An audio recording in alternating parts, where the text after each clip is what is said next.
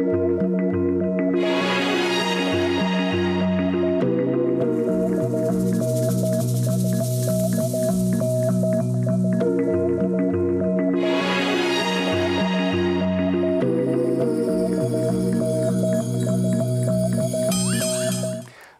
merci de nous retrouver pour la fois prise au mot à l'occasion du Festival de la bande dessinée d'Angoulême. Je vous propose de faire le point sur les rapports entre le christianisme et la bande dessinée. On le sait, la bande dessinée franco-belge est née dans les milieux catholiques, que ce soit Tintin et le journal de Tintin, Spirou, le journal de Spirou. Comment l'expliquer Et aujourd'hui, ces liens existent-ils encore? Y a-t-il une création chrétienne, que ce soit explicitement ou implicitement? Ça, c'est une première série de questions. Mais il y en a une seconde. Depuis une vingtaine d'années, on a vu se multiplier les BD empruntant des thèmes religieux comme le Les évangiles oubliés, les 30 deniers de Judas. Comment l'expliquer et qu'en dire? Pour répondre à ces questions, je reçois deux passionnés.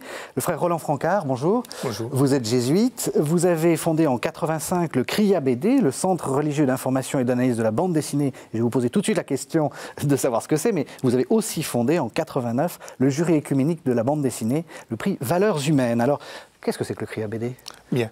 Euh, D'abord, il s'est fait à Bruxelles. Euh, c'est peut-être la ville où il y a le plus de dessinateurs de BD au kilomètre carré.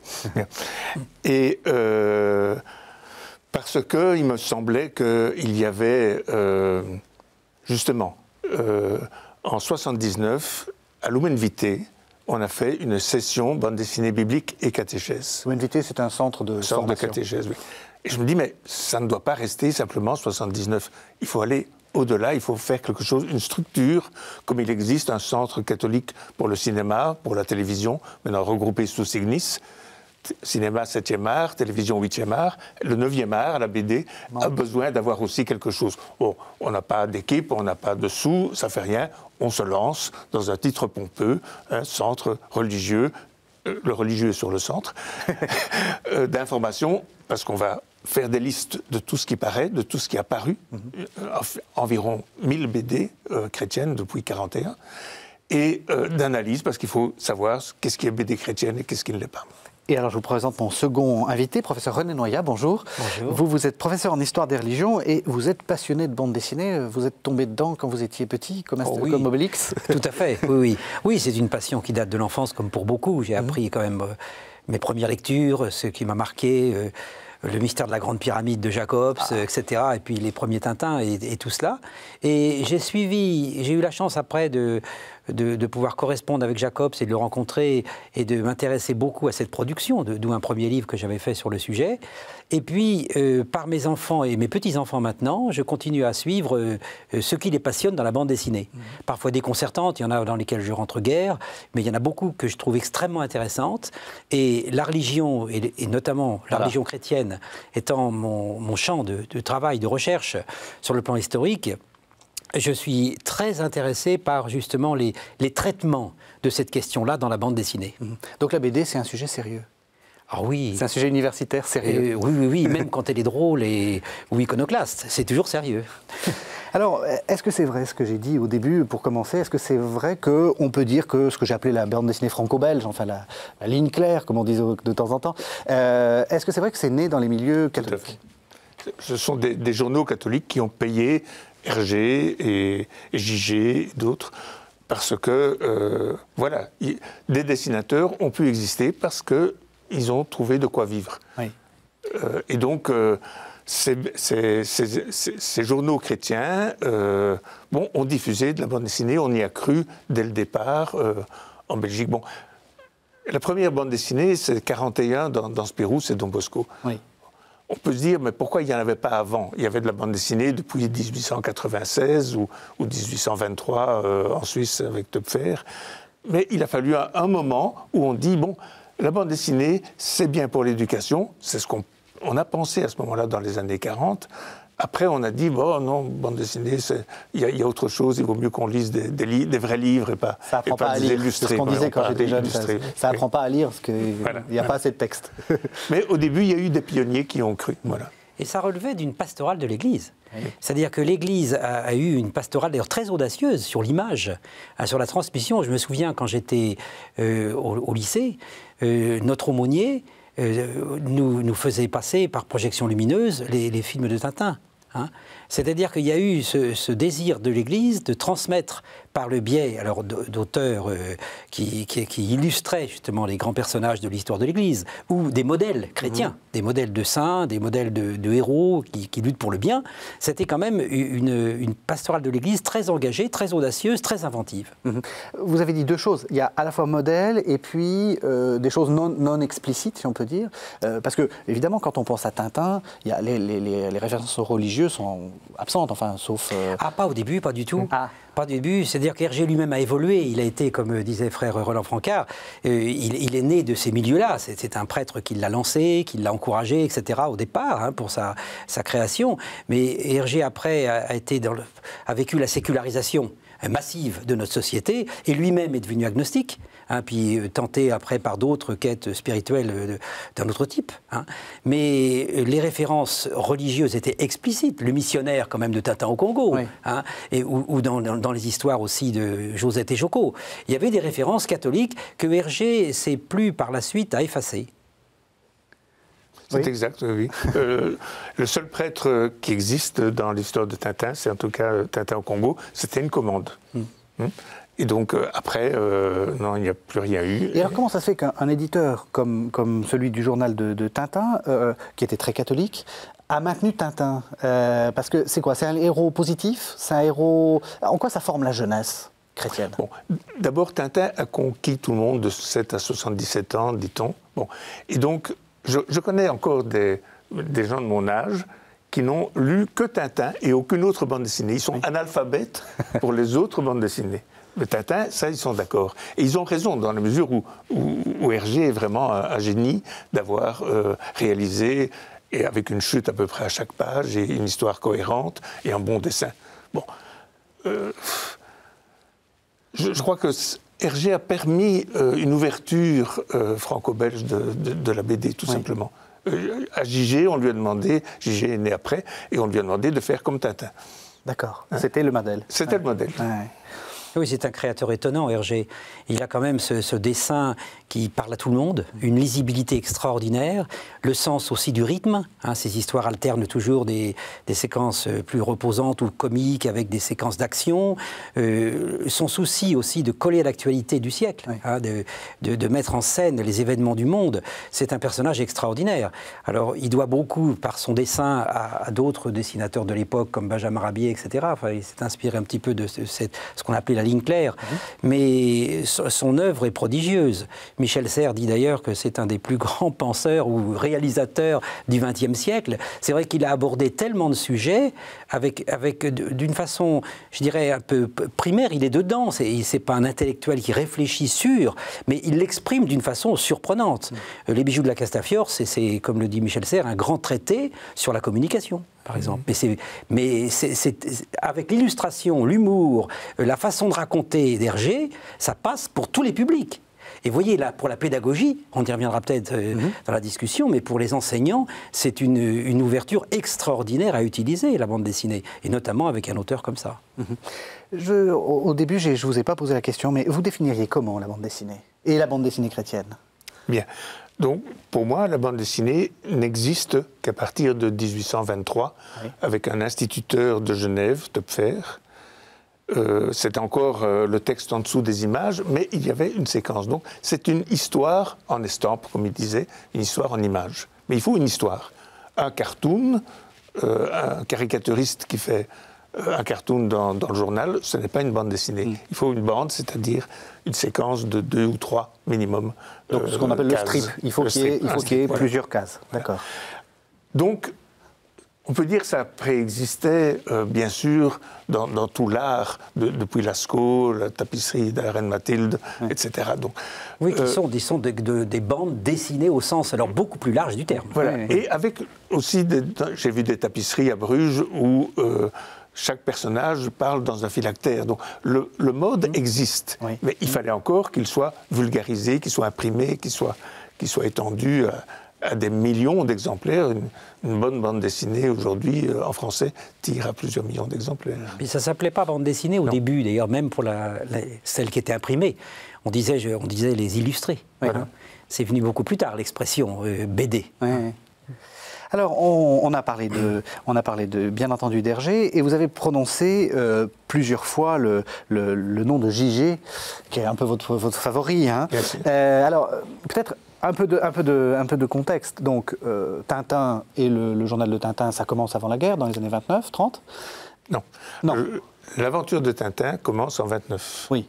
Ah oui, pardon, le journal. Le journal de Tintin, c'est 46. Pardon, pardon. oui. non, pardon. Donc, ah, on veut dire que des bandes dessinées, euh, enfin, des, journaux dans lesquels il y, a des, il y a des bandes dessinées. Il y avait Mickey en 35, et puis Spirou en 38. Voilà. Et après, vous avez Spirou. Alors, Expliquez-nous quels sont les rapports entre justement euh, Spirou, euh, Tintin, etc. C'est les mêmes milieux, c'est les mêmes. Euh non. Donc Gigi a d'abord commencé à dessiner dans une presse catholique locale, Le Croisé, Averbaud, etc. Oui, parce qu'il y avait beaucoup d'autres journaux. Voilà, mm. beaucoup de journaux. Et donc, au début de la guerre, on lui a demandé de, de participer à Spirou, de reprendre le personnage principal, parce que le créateur Robert Welter euh, était mobilisé. Il y avait plus de perméabilité des frontières hein, entre la France et la Belgique. Et donc Gigi a repris, il a même repris des séries américaines, peu importe, il savait tout faire. Mhm. Donc il a été le maître d'œuvre du journal de Spirou. Et il a formé des auteurs qui sont plus connus que lui, comme Franquin, euh, Will, Maurice, mais aussi au-delà, euh, Mézières, Möbius, de Ribes, etc. Tandis que Hergé était le directeur littéraire du journal de Tintin. Euh, il imposait même ces choses assez de manière dictatoriale. Et euh, voilà, il y a eu pendant longtemps une concurrence Tintin et Spirou, donc les éditions Dupuis et les éditions du Lombard. Euh, qui se sont maintenant, par l'effet du hasard et, des rachats, réconciliés dans un même groupe qui s'appelle Media Participation. Alors, justement, euh, JG, euh, c'est ce que, dans, le livre que je présenterai à la fin, euh, dans votre livre, Nénoya, euh, c'est le modèle. Il, dessine des, des, saints chrétiens, en fait. on, en a vu, on en a vu passer, on a, vu passer Baden-Powell, on voit passer là Bernadette de Lourdes, il va y avoir Charles de, Foucault, et puis, bien entendu, la fameuse vie de, Don Bosco. À quoi ça sert, la bande dessinée, et, pourquoi on, demande à JG, par exemple, de de dessiner la vie de Don Bosco? Ben, Justement pour euh, illustrer des modèles des modèles de sainteté, des modèles de comportement.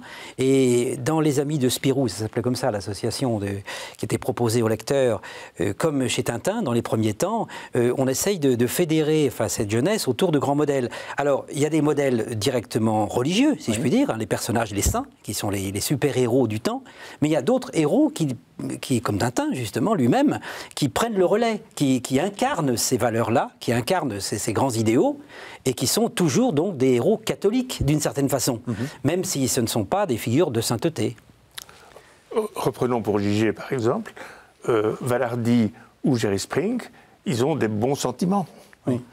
Et euh, Gigi veut faire un western où les Indiens ont leur part, où les Mexicains ont leur part, et donc c'est quelque chose de différent, il n'y a pas des bons et des méchants.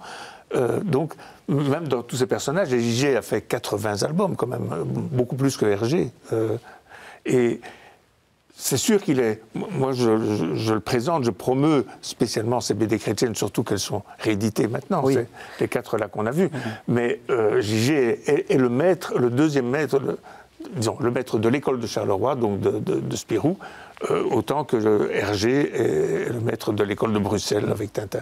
Vous avez bien fait de nous dire qu'elles sont rééditées. Donc, euh, donc Baden-Powell, euh, Don Bosco, Bernadette Delourde et Charles de Foucault ont été réédités entre 2005 et 2014 aux éditions du Triomphe. Et on, salue, on salue les éditions du Triomphe. Mm. Elles datent entre, dans les années 40 et... c'est ça, 40-50. Voilà, 40-50. Pourquoi, pourquoi c'est si bien, Gigi? Qu'est-ce que vous lui trouvez? Mais Gigi est un auteur disons, plus qu'Hergé, il est aussi sculpteur, il est aussi peintre, euh, et puis il est formateur. Euh, de, tous ces talents de Franquin. Il n'y aurait pas Franquin, il n'y aurait pas Möbius, Giraud, s'il n'y avait pas eu Gigé. Enfin, c'est assez extraordinaire. Et donc, euh, Gigé est un artiste complet et qui travaille énormément. Il se lève très tôt le matin, il travaille jusqu'au soir. voilà, je crois qu'il a il a beaucoup d'humour. Il, a imprégné euh, vraiment euh, un certain nombre d'artistes. Il a donné sa marque. Hergé est peut-être le modèle avec Tintin, mais est beaucoup plus que ça. Il a commencé par du, le style comique, ligne claire, avec Blondet et Sirage. Et puis, il est le premier qui a fait du, western en Europe. il s'est inspiré bien sûr des, auteurs américains comme Milton Caniff et d'autres, mais il, a donné vraiment ses lettres de noblesse et beaucoup de, les premiers exemples de ce qu'on peut trouver en bande dessinée. Alors pourquoi alors qu'il est né il y a 100 ans, pourquoi est-ce qu'on n'a pas fêté en, 2014 son centenaire? C'est ça, moi, je ne comprends pas. Oui, il y a d'ailleurs beaucoup d'auteurs de cette euh, génération-là qui sont aujourd'hui oubliés. Hein. Et c'est intéressant que les éditions du Triomphe, justement, les aient réhabilités ou, les fassent de nouveau connaître. Parce qu'on n'a pas parlé là de Cœur Vaillant, mais qui était aussi un journal qui a porté notamment Hergé, mais beaucoup d'autres de, très grands talents, des histoires étonnantes, de, très créatives, etc. Et c'est bien qu'elles soient aujourd'hui reconnues par cette édition-là, parce qu'elles n'ont pas la place, hélas, dans le, la mémoire, je dirais, de, l'histoire de la bande dessinée. Mhm. Je vous propose qu'on fasse une pause avec un message que le pape Jean-Paul II avait adressé pour la 23e journée euh, mondiale des communications sociales, le 7 mai 1989. Et justement, on est tout à fait dans ce que vous disiez, c'est-à-dire euh, il faut que l'Église investisse tous les moyens y compris les bandes dessinées de qualité. Puisse le message religieux et les initiatives religieuses être présents dans tous les types de médias. Dans la presse d'information audiovisuelle, dans la création cinématographique, dans les mémoires et les échanges informatiques des banques de données, dans la communication théâtrale et dans les spectacles culturels de haut niveau, dans le débat d'opinion et dans la réflexion commune sur l'actualité, dans les services de formation et d'éducation du public, dans toutes les productions des médias de groupe, grâce à des dessins animés et à des bandes dessinées de qualité, grâce aux larges possibilités qu'offre la diffusion des écrits, des enregistrements sonores et visuels, dans les moments de détente musicale des radios locales ou de grande diffusion. Mon souhait le plus ardent est que les réseaux catholiques et chrétiens puissent collaborer de manière constructive avec les réseaux de communication culturelle de tout genre, surmontant les difficultés de concurrence en vue du bien ultime du message religieux. L'Église elle-même, en cette occasion, invite à prendre sérieusement en considération les exigences de la collaboration écuménique et interreligieuse dans les médias. Voilà, donc on a, on a entendu le pape, on a, on a vu aussi ce qui s'est passé jusqu'aux années 50. Et puis, euh, dans, votre livre, René Noyer, vous, vous montrez bien qu'il y a une sorte de, de période, enfin un peu, un peu particulière, où toute cette belle construction idéologique, peut-être un peu moralisante, s'effondre. C'est les années 60-2000. Et alors ce que vous montrez bien, et ça je trouve ça très intéressant, c'est qu'on n'abandonne pas les références chrétiennes pour autant. Elles sont là quand même, un peu sous-jacentes. Qu'est-ce qui s'est passé? Ben, Là, la bande dessinée est un révélateur de ce qui se passe dans la société. Et on le trouverait dans d'autres euh, médias, évidemment, la littérature, le cinéma, etc. Et on assiste effectivement à une prise de distance à l'égard de ces modèles. Euh, ces modèles catholiques notamment, mhm. mais plus que ça, à, une, à, des règlements de compte qui sont souvent très, très iconoclastes, hein, voire blasphématoires de la part de, nombreux auteurs, de talents d'ailleurs sur le plan graphique et, des scénarios. Et on citait Hergé et Franquin, l'auteur de Spirou, euh, eux-mêmes ont vécu cela. C'est-à-dire qu'Hergé est devenu effectivement agnostique, on le disait tout à l'heure, mais Franquin est devenu très anticlérical. Et il a des, pages très grinçantes à l'égard de, ce monde qu'il avait connu. Et je dirais beaucoup de gens de sa génération. Alors d'autres, comme Edgar Pierre Jacobs, qui était aussi euh, un des très grands du journal Tintin et de la fondation du journal Tintin, euh, sont, disons, vivent une sécularisation au sens où ils sont en retrait des références chrétiennes, mais comme vous le soulignez tout de suite, effectivement, ces références les habitent toujours. Parce que c'est toujours par rapport à ces modèles que d'abord beaucoup de choses se structurent dans leurs scénarios, dans leurs histoires, etc. Mais même quand ils règlent leur compte, c'est par rapport à ça. Donc autrement dit, il y a toujours une présence de ces anciens modèles qui est là, mais qui est traité ou maltraité au sens euh, vraiment pris dans tous les sens, et, avec de nouveaux positionnements qui se font jour à l'égard du religieux. Ce qui devient très intéressant parce que ça, ça prépare les, grandes explorations, je dirais, que va mener la bande dessinée dans les années 2000 euh, sur de nouveaux champs euh, d'études du religieux. Mais n'anticipons pas, hum. restons un peu dans les, années 60. Qu'est-ce qui s'est passé vraiment? Enfin, C'est le catholicisme belge qui s'est effondré euh, C'est les, journaux qui avaient plus d'argent Il y a eu euh, deux auteurs, euh, je, pense à, Pilam, qui est français, qu'on a un peu soupçonné. Bon, la commission catéchétique de Paris a trouvé que mettre l'évangile en BD de manière un peu humoristique, ça n'allait pas. Donc, Et donc- une sorte de, Voilà. crosse. Oui. Et, et- donc ça, c'est arrêté. Du côté flamand également, en Belgique, puisqu'on parle de la Belgique, euh, Willy van der Steen avait fait, de Babette avait également euh, fait l'histoire de Judy dans l'Ancien Testament. Et de nouveau, certains milieux n'aimaient pas ça. Donc ça s'est stoppé pratiquement. Il y a eu 25 bonnes bandes dessinées chrétiennes entre 41 et 60. En 60, ça s'est arrêté. Oui, à ce point-là. En 75, des euh, catéchistes, comme le père Berthier, le père Tivolier, ont repris une bande dessinée catéchétique. On ne mettait plus le nom de l'auteur, mais des personnages, soit euh, donc dans la Bible, le Nouveau Testament ou l'Ancien, et, et des, des grands noms de, de témoins, euh, des chercheurs de Dieu. Bon. Et donc, euh, à ce moment-là, ça, ce n'était plus la même chose. Oui. C'était destiné au catéchisme et plus vendu dans les grandes surfaces, dans, dans- dans- dans les librairies BD, etc.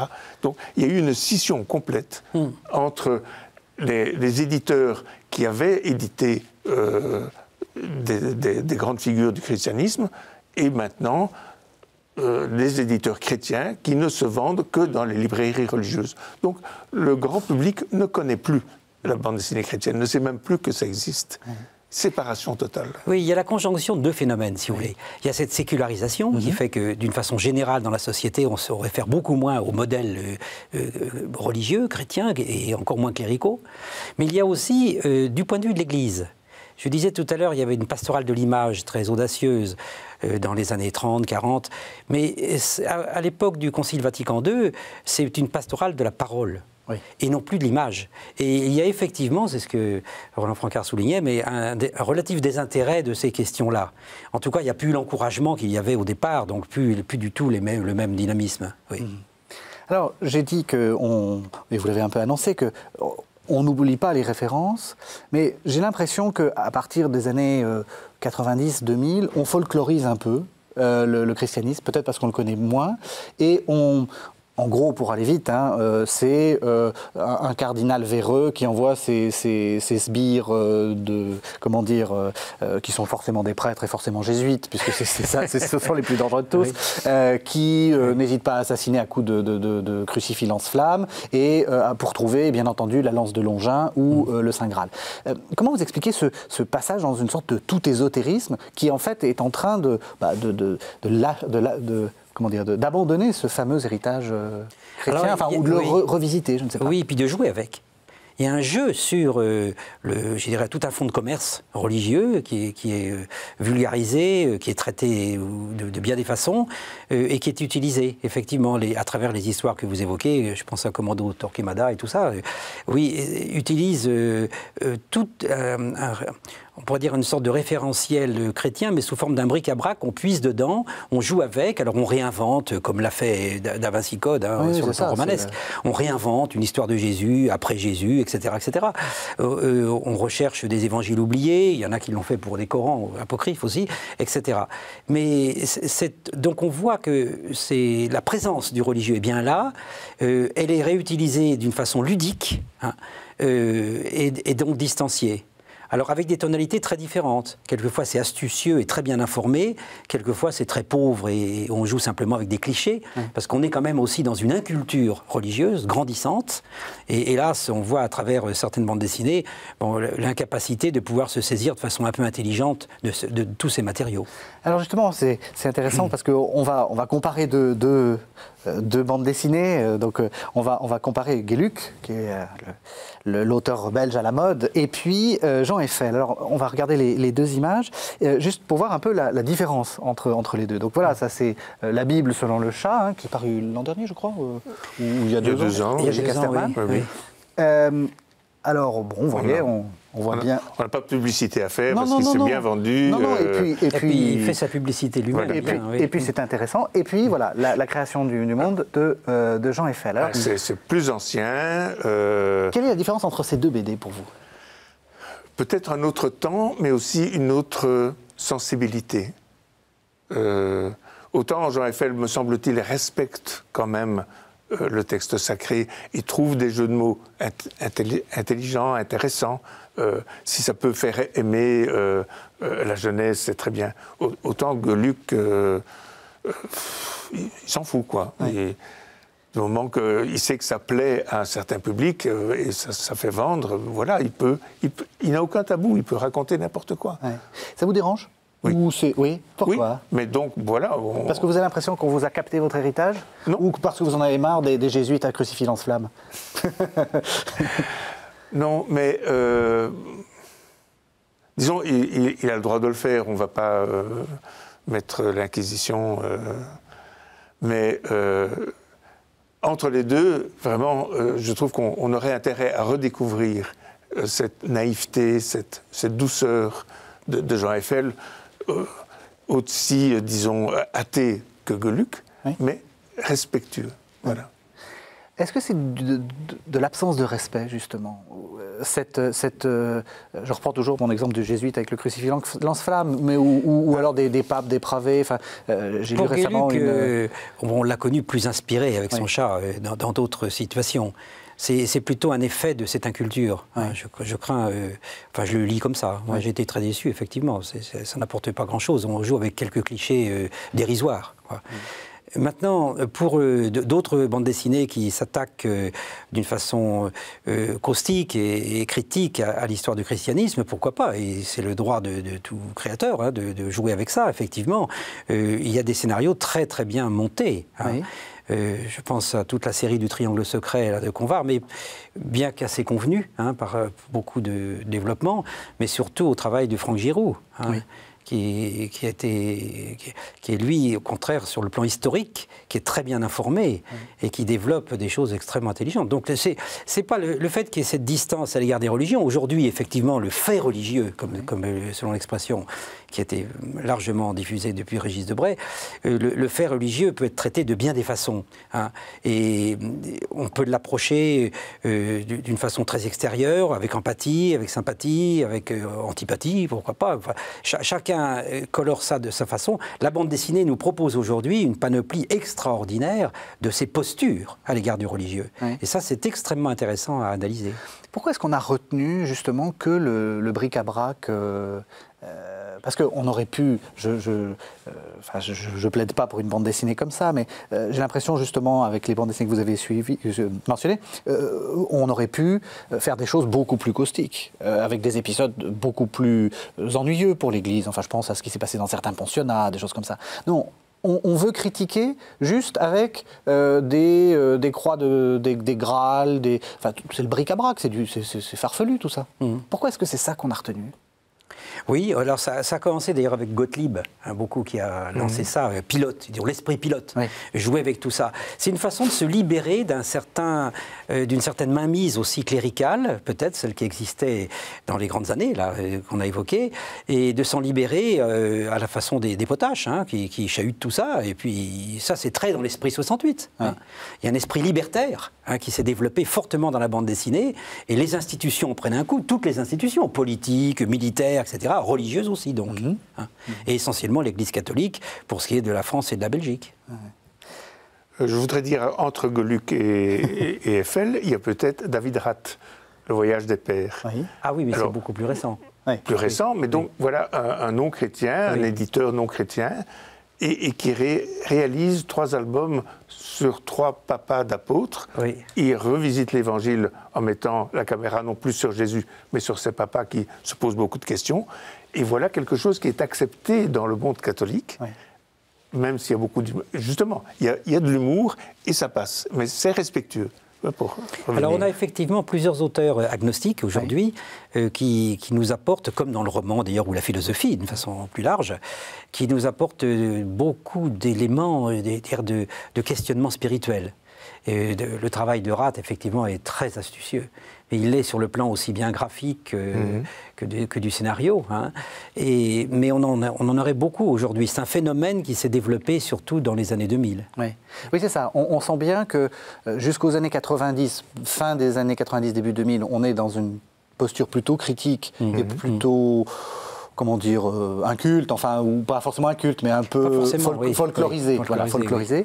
Et euh, vous repérez un, un, basculement ah dans les années 2000. Oui, avec euh, des quêtes nouvelles qui sont très, très existentielles. Hein. Il y a des albums qui sont très forts, qui portent. D'ailleurs, toutes les séries récentes évoluent davantage dans le sens de, l'attention à l'évolution des personnages. C'est beaucoup moins caricatural qu'une époque. On a maintenant, même celles qui sont reprises, euh, les Black et Mortimer ressortent aujourd'hui avec des nouveaux dessinateurs et des nouveaux scénaristes, mais on s'intéresse à leur généalogie, à leur famille, d'où ils viennent, qui sont-ils, etc. Autant de choses que Jacobs s'interdisait de, montrer, parce que c'était des forces Black et Mortimer, c'était les bons, Ulrich, c'était le méchant. Donc on ne rentrait pas dans la psychologie des personnages. Maintenant, on psychologise beaucoup et on fait d'ailleurs vivre les personnages. Euh, ils vieillissent. Je pense aux séries de Torgal, tout ça, qui ont beaucoup de succès. Ils vieillissent, ils meurent, on suit leurs enfants. Il y, a aussi toute une préoccupation identitaire qui est, qui est marquée par la bande dessinée contemporaine. Et je, pense en particulier au travail ah de, un très beau livre, de Mathieu. Euh, qui, est un livre étonnant, voyez-vous. Il n'a il pas de titre, il n'a pas de nom, il n'a pas d'auteur. Et si je l'ouvre à n'importe quelle page, il n'y a rien d'écrit. Hein. Il y a des cases plus ou moins blanches ou grises. Et en tout cas, il y a une réflexion à travers dans ce livre. Euh, là, la bande dessinée porte une, une, sorte de méditation métaphysique sur le sens mhm. qui est prodigieuse et que ces autres livres ont décliné. Alors ça, c'est toute une génération nouvelle d'auteurs agnostiques, mais qui posent des questions fortes sur euh, qui sommes-nous? Euh, À quoi ça sert de vivre? Où allons-nous? Enfin, Quel sens? Quel sens? Donc, pour euh, préciser, donc c'est de, de Mathieu, Marc-Antoine Mathieu. C'est paru en 2014 aux, éditions Delcourt, voilà, qui sont une bonne maison d'édition. Justement, face à cette évolution, comment vous vous situez, vous? C'est-à-dire quelque chose qui n'est pas thématiquement chrétien, mais qui finalement renoue avec les, les valeurs chrétiennes. Chaque année, il y a plus de 5000 bandes dessinées, 5000 titres en français qui paraissent. Là-dedans, il y a 20 bandes dessinées que nous jugeons chrétiennes. Tout, le reste euh, peut avoir de fait des connotations religieuses, euh, peut-être moins critiques ou, ou, en passant. Bon. Je, voudrais davantage de juger aujourd'hui, davantage de, dessinateurs valables, de bons scénarios. Euh, pour moi, une des dernières BD, on va en parler, euh, je crois c'est celle de Robin chez Bayard, Le Poverello. Voilà, une sorte de roman graphique de 600 pages et qui met en parallèle euh, la vie de François d'Assise dans, le film et l'acteur principal du film qui a sa vie à lui on, voit, le, c'est assez, assez, drôle puisqu'on voit effectivement euh, François d'Assise sur une moto. Mais peut-être c'est ça, c'est Bayard. Ça c'est quelque chose. Euh, j'ai vu euh, à Lyon quatre librairies, deux chrétiennes et deux de bande dessinée. J'ai trouvé le même livre dans les quatre librairies. Voilà donc quelque chose de nouveau parce que jamais une librairie de BD n'accepterait une BD chrétienne un peu trop, trop stricte, euh, hmm. ennuyeuse aussi. Donc. Ah, alors justement, on va, il nous reste une vingtaine de minutes de l'émission. Maintenant, on va, on va essayer de. On aurait dû faire cette émission avant Noël, ça aurait été l'occasion des cadeaux, mais c'est pas grave, ça donne des, ça donne des envies. Euh, on va essayer de parler de ce qui se fait en ce moment et donc de faire quelques, quelques suggestions. Euh, alors, qu'est-ce que vous pensez par exemple de Césaire d'Arles? On va regarder quelques, quelques, quelques images. Euh, donc c'est Christian Gou, Louis-Bernard Koch, ou Koch, euh, Marie-Josée Delage, et c'est toujours le triomphe. Voilà. Alors, Marie-Josée Delage est une Française euh, aux États-Unis, c'est la spécialiste mondiale de Césaire. Donc, on, a là avec un bon dessinateur qui est Christian Gou et plusieurs scénaristes, il n'y a pas que Koch qui est scénariste. ils ont réussi à donner la vision d'un évêque de Provence du VIe siècle, euh, totalement inconnu. Alors, le titre Césaire d'Arles n'est pas porteur, personne ne s'intéresse et ne connaît même l'existence de Césaire d'Arles, sauf les sources chrétiennes. Bon. Et donc, tout à coup, si on lui donne le prix, ce qu'on a fait à Bruxelles, eh bien, peut-être c'est un petit coup de pouce pour que les gens découvrent euh, dans l'histoire de l'Église cet évêque qui a été marquant pour son temps. César d'Arles, dans votre fresque historique, vous le, le situez où? Enfin, la BD, bien entendu, pas le, pas le personnage. Euh, c'est une sorte de résurgence des Don Bosco ou est-ce qu'il y a quelque chose de plus? Oui, parce que là, les, les, strates se superposent. Quoi. Il y a eu ces, ces, ces, bandes dessinées, justement, qui valorisaient certaines figures de sainteté. On les voit réapparaître aujourd'hui. Il y en a de plus en plus, et, du, avec des graphismes intelligents, etc. Donc, euh, les, les, strates critiques continuent aussi. Les strates, euh, on peut dire, plus de questionnements métaphysiques euh, sont apparus plus récemment. Il y aurait aussi toute la veine ésotérique, hein, qui était très importante dans le traitement du, du religieux. Une veine que, que j'appelle, moi, mystique mystico-ésotérique. Hein. Donne-nous un euh, exemple, par exemple, de, de BD euh, mystico-ésotérique pour qu'on voit un peu de quoi il s'agit. Bah, il y a eu tout, tout ce qu'a fait Druyet, par exemple. Hein, qui, est, qui, est qui, est, extraordinaire sur le plan de l'invention graphique. Donc ça, c'est pilote, ça C'était pilote, oui. Enfin, il a, il a émargé à plusieurs euh, journaux, plusieurs publications, mais ça a été aussi pilote, oui. Le pilote a lancé un peu euh, des... Euh, comment dire des, a ouvert des champs nouveaux mmh. hein, dans, la, dans la bande dessinée, effectivement, dans les années 60. Alors, on, a quitté Césaire d'Arles et on se retrouve dans un, une BD au, au, titre tout à fait étonnant. L'être et le néant sont dans un bateau, les indispensables donc ça, c'est Brunor qu'on a mmh, reçu assez souvent ici. C'est euh, aux éditions euh, Brunor Éditions. Pourquoi c'est bien cette BD et pourquoi, enfin, qu'est-ce que, qu'est-ce que ça nous dit euh, de, ce que c'est que la BD chrétienne aujourd'hui? C'est pas comparable à Césaire d'Arles pour voir les deux. certains même disent que ce n'était pas une BD dans la mesure où il n'y a pas de cases. Mmh. Et Brunor essaye de donner un message philosophique et scientifique à la fois. Certains le trouvent extraordinaire, d'autres n'entrent pas dans, dans, ce, dans, cette manière de faire. Donc, on n'est pas du tout une BD d'aventure. Il utilise le, code graphique de la BD pour faire passer un message. Je trouve qu'il, pour moi, il réussit bien, et tant mieux si des gens le découvrent. On doit encore ah, davantage qu'il y ait des gens qui le découvrent. Mais euh, c'est un genre à part de, la BD, euh, même de la BD chrétienne. Vous êtes d'accord, Bruno? Pour vous, c'est un, apax, quelque euh, chose qu'on trouve que. Non, mais il, est, significatif de toute cette euh, créativité d'aujourd'hui. C'est ce qu'il invente, comme, euh, Mathieu, dont je parlais tout à l'heure. dans des genres différents, on voit une extraordinaire explosion, si vous voulez, de la créativité en bande dessinée. Et Bruno fait partie de cela. Il a des trouvailles, des trouvailles graphiques pour, pour mmh. raconter ces histoires qui sont très bien montées. Mmh. Oui. On continue avec Le Voyage des Pères, alors qui a, eu aussi un, grand succès parce qu'il a été mis en film. Il y a quatre tomes hein, euh, Jonas, Alphée, euh, Simon. Non, pardon, il n'y en a que trois. Jonas, Alphée et, euh, et Simon. Donc c'est de David Rath aux éditions Paquet. vous avez commencé à en parler. on voit la, la, couverture, le dessin est magnifique. Là, on est, comme vous dites, on est, on est dans, dans, une configuration un peu différente. C'est-à-dire qu'on est dans l'histoire sainte, mais pas du tout dans l'histoire sainte telle qu'on nous l'a racontée avant, avec comme personnage principal euh, Jésus, évidemment. Oui. Beaucoup de, de, chrétiens à qui je disais que je m'intéressais à la BD chrétienne citaient en premier lieu le voyage des pères. Oui. Parce que ça, ils ont découvert les, 20 autres qui paraissent chaque année, ça, ils ne connaissent pas. Celui-là a fait un impact euh, très important. Il a reçu des prix, euh, évidemment, à euh, Angoulême. Et donc, je trouve que voilà, ça c'est une bonne manière, respectueuse, comme je disais, de, montrer l'Évangile différemment, sous un autre regard, mais quelque chose qui, qui, donne, qui donne le goût à l'Évangile. La BD doit donner le goût pour aller plus loin même si on ne parle pas thématiquement ou explicitement de, l'Évangile. On est autour. Non, non. C'est aussi explicite. Oui, c'est très explicite, moi je trouve, parce que ah justement cette façon indirecte d'aborder Jésus à travers justement les, évangiles qui sont selon d'ailleurs les apôtres, euh, ça, ça, me faisait penser cette bande dessinée de Rat à l'ouvrage de Thyssen, euh, L'ombre du Galiléen, qui est un grand théologien et qui a fait un roman mais un roman, c'est ce qu'on dit de Jésus dans différents milieux. Et c'est comme ça qu'on approche sa figure. C'est même très fort. C'est ce qu'a fait un petit peu Denis Arcand au cinéma avec Jésus de Montréal. Hein. Mhm. C'est-à-dire qu'on n'approche pas le personnage. Disons que c'est moins réducteur que de, que de figer à la façon des films d'Hollywood un Jésus euh, euh, péplum. Quoi.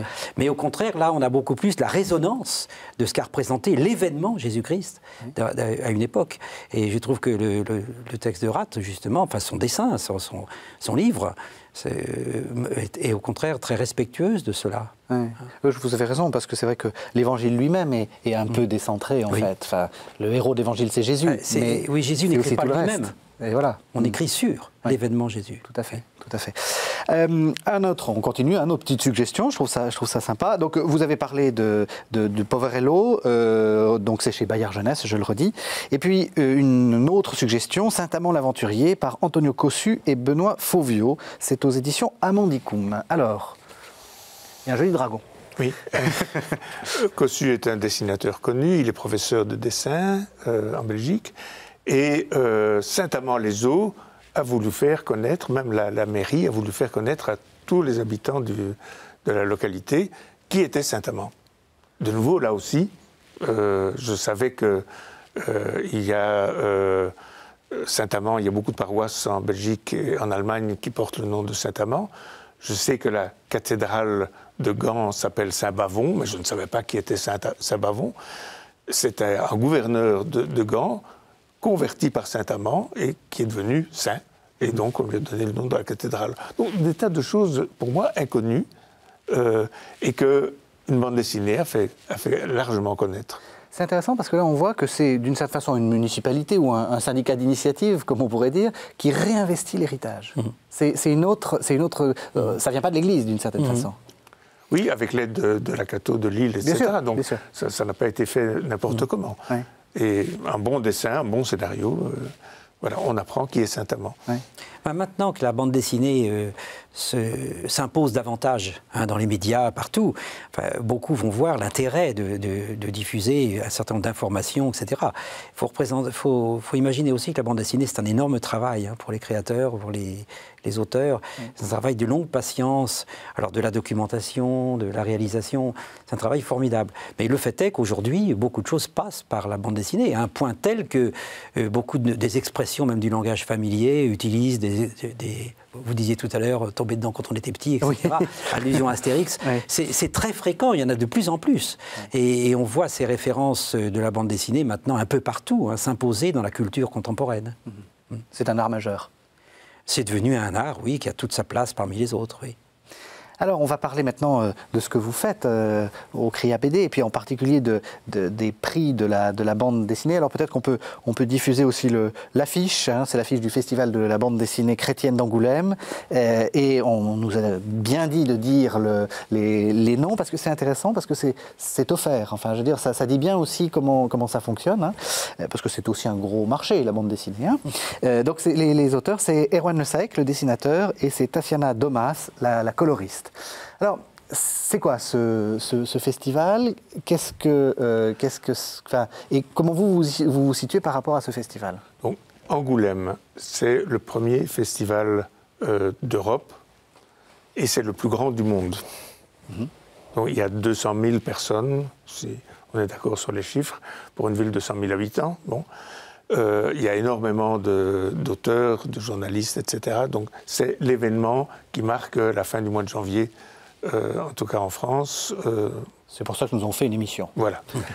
Et donc, c'est le 42e, donc voilà, c'est étonnant. Depuis 1987, une équipe de BD chrétienne s'est réunie dans trois lieux principaux la cathédrale, le temple protestant et l'église Saint-Martial qui est sur le piétonnier euh, bien fréquenté.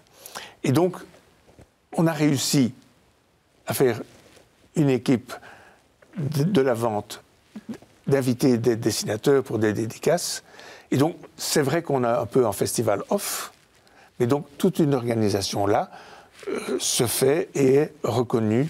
Il n'y a aucun autre festival de de BD où il y a une telle présence de BD chrétienne. Donc là, il y a vraiment un investissement, mais il est local, il est du diocèse d'Angoulême.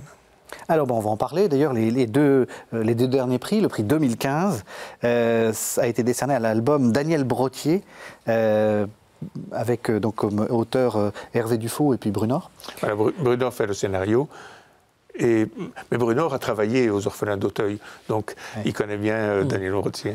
Oui, c'est le fondateur des, des, des, Pas le fondateur, enfin, le, celui qui la a figure, voilà. une grande figure. Et donc c'est chez MAM Jeunesse. Pourquoi est-ce que, à votre avis, on a, on a, enfin, pourquoi ce choix-là? Pourquoi ce Bon, j'ai vu la liste des nominés, il y, avait, il y en avait neuf. Nous avons une liste de 20, de 20 BD. Il est arrivé une année qu'on a donné le même prix à la fois à Bruxelles et à Angoulême. Oui. Cette année, bon, nous avons laissé passer le Daniel Brottier, qui date d'ailleurs de 2013. on ne l'a pas, retenu parmi les compris. Mais je suis d'accord que c'est une, bonne BD parce qu'elle donne quelqu'un. Bon, les orphelins d'Auteuil, je crois, sont bien connus, d'une part. Et Daniel Brottier est un, prêtre.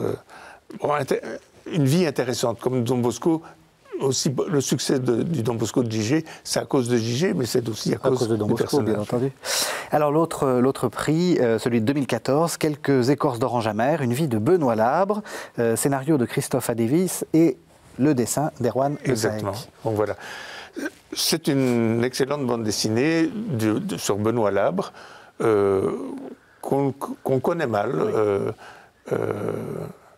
originaire du nord de la France, mendiant entre, euh, en Italie entre Lorette et, Rome, canonisé. Est-ce qu'on canonise un mendiant? Non, voilà. Mhm. Euh, et donc, euh, c'est assez, une bonne dessinée assez forte, un titre bien choisi aussi. C'est ce qu'on a retrouvé dans son sac quand il est mort. Vous, euh, René quand, quand, vous voyez ces prix-là, euh, qu'est-ce que ça, qu'est-ce que, là aussi, parce que vous avez, votre, votre livre vient de paraître, mais je pense que vous l'avez mm. écrit un petit peu avant, euh, qu'est-ce qui, est-ce que vous êtes bien dans l'évolution que vous avez vue, ou est-ce qu'on est en train de, de partir vers une autre, une autre figure de la bande dessinée chrétienne? Euh, enfin, de la bande dessinée en général, je dirais, parce que les prix, bon, ce qui est intéressant, c'est que ça, de temps en temps, ça fait ressortir, ça valorise quelques titres et, ça vaut la peine. Maintenant, on est quand même aussi dans ces lois du marché, hein, où il y a quand même euh, aujourd'hui euh, tout un, un commerce autour de la bande dessinée et qui est un peu mortifère hein, pour beaucoup d'auteurs et de créateurs. Parce qu'il euh, il faut pouvoir faire son trou dans, dans ce milieu-là, il faut pouvoir s'imposer. Euh, il y a beau, énormément de production, tout ça, et, et, il y a des politiques promotionnelles qui sont écrasantes, alors valorisantes à l'excès pour certains produits, euh, disqualifiantes pour d'autres, qui passent inaperçus. Si vous voulez, et le, festival n'arrange pas forcément les choses, mm-hmm. parce qu'il y a quand même derrière toutes ces lois du marché qui sont à l'œuvre et qui sont quand même qui mettent à mal je dirais, la, bande dessinée, mais pas seulement, toute l'édition. Mhm. Euh, alors la, bande dessinée chrétienne euh, bah, se, surnage comme elle peut dans tout ça. Mhm. Mais heureusement qu'il y a une association comme le CRIA BD qui, veille à, faire connaître justement un certain nombre d'auteurs de qualité euh, qui, sont, qui seraient sinon complètement passés à la trappe. Mhm. Justement, le BD, vous, vous faites quoi? Vous, vous, éditez donc euh, cette, une, fiche, enfin un fanzine, comme on disait autrefois, c'est-à-dire une, une, sorte de, petite, de petit numéro euh, fait par vos propres Trimestriel, oui. Euh, votre but, c'est quoi? C'est de faire connaître ou c'est de, de, donner une impulsion en disant voilà ce qu'on voudrait?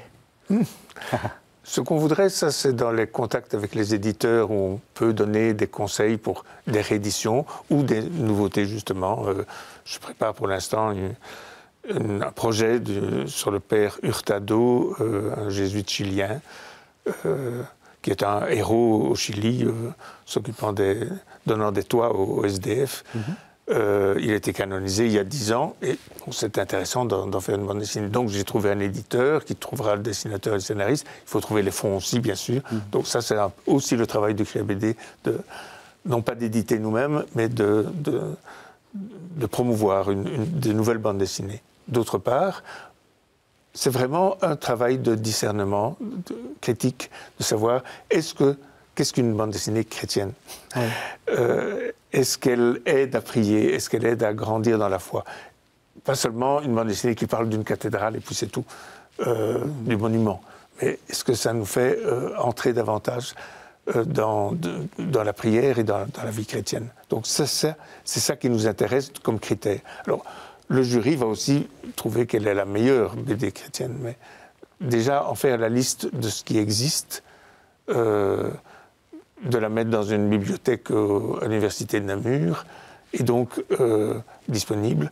Et, donc voilà, ça c'est un peu ce qu'on fait en français, on essaie aussi de le faire dans les autres langues. Bon. Mais c'est pas plus mal qu'il y ait deux jurys différents, celui d'Angoulême qui ne, garde que quelques titres, et puis qui donne un prix, tant mieux si c'est le même, euh, tant mieux si c'est différent. Mhm. Et puis une autre jury à Bruxelles qui donne également la chose.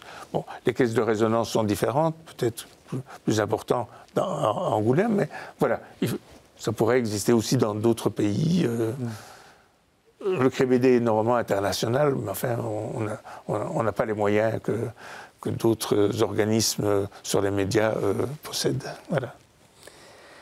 Très bien. Bah, écoutez, on arrive à la fin, à la fin de, l'émission. Peut-être quelques. Oui. Oui. J'ai juste ajouté que moi, ce qui m'intéresse beaucoup justement dans cette thématique que vous avez soulevée, c'est que l'événement chrétien euh, imbibe toute la culture et notamment la bande dessinée de bien des façons. Je me méfierais moi de l'expression, par exemple, culture chrétienne, parce que l'événement Christ euh, est de toutes les, peut être de toutes les cultures. Les cultures sont christianisées, plus ou moins. Hein, à travers l'histoire de, le rayonnement de l'Évangile et, de ses témoins hein, à travers les siècles. Et c'est pareil pour la bande dessinée.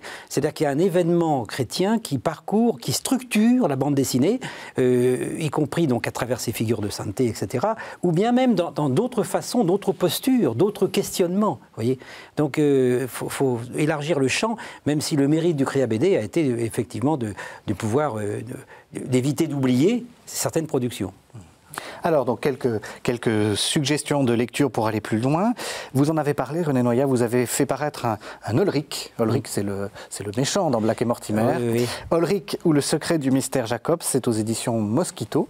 Et puis, euh, je viens, enfin, j'y ai fait allusion plusieurs fois, un très, très intéressant livre sur les avatars du christianisme en bande dessinée aux éditions EME. Roland Francard, vous avez fait un petit euh, ouvrage très utile euh, qui s'appelle La BD chrétienne, justement. Euh, c'est dans la collection Bref, c'est le numéro 50 et c'est aux éditions du CERF.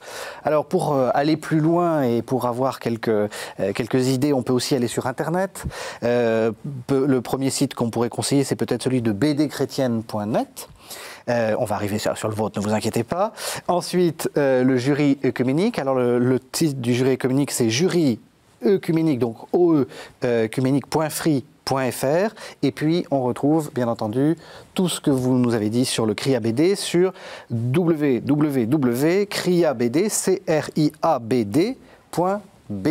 Voilà. Merci en tout cas à tous les deux. Merci de nous avoir fait découvrir la BD chrétienne. Merci quant à vous de nous avoir suivis. Vous savez que vous pouvez retrouver cette émission sur www.ktotv.com. Merci beaucoup et à la semaine prochaine. Thank you.